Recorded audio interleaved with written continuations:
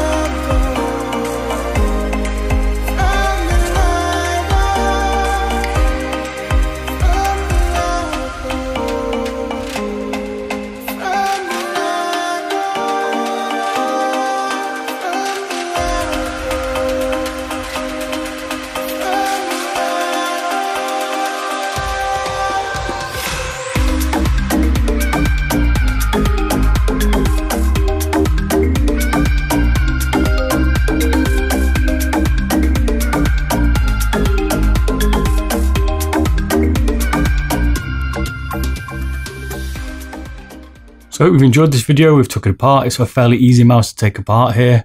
I'm not sure how much weight we're going to get out of it looking at what's inside it, but you never know. We might get some reduction, especially by taking off some of the parts that we don't need. What I'm going to start doing on my website is rating how easy these are to take apart from 1 to 5. And what it'll allow you to do is if you want to paracord some of these mice, you'll be able to do that and you'll understand how complicated it is to swap the cable because some are more difficult than others. So I hope you like this video, don't forget to like and subscribe and I'll see you all again soon. Bye bye.